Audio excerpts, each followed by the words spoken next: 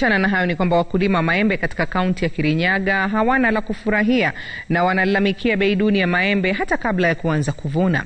Katika eneo la Murindoko, wakulima wanalalamikia kunyanyaswa na madalali wanaonunua bidhaa hiyo kwa bei ya chini mno bila kujali jasho la wakulima na gharama ya kukuza mazao hayo. Wakulima hao sasa wanaiomba serikali ya kaunti ya Kirinyaga kuanzisha juhudi za kuwanusuru na matapeli hao watakapovuna bidhaa zao.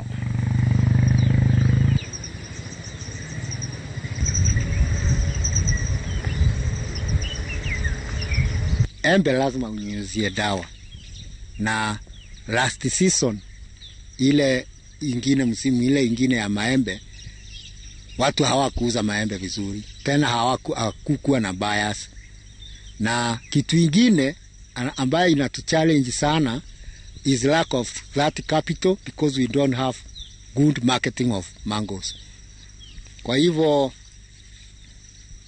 kama wakati huu yule hakunyunyuzia maembe yake dawa, hakuna kitu atavuna. Anajua vizuri sana by February hakuna kitu atavuna. Ombi langu kwa serikali ni waangalie sana watu wa maembe kama venye huwa wanaangalia watu wa kahawa, mchele na hivyo. Kwa hivyo sasa wanunue ma, waani wanjenge mahali kiganda hata kama ni kidogo ya watu kupeleka maembe. Ile ile sinda tunakuanga nayo hapa ya, ya hii maembe ni sinda tu ya, ya kulima tu, hakuna mambo ingine.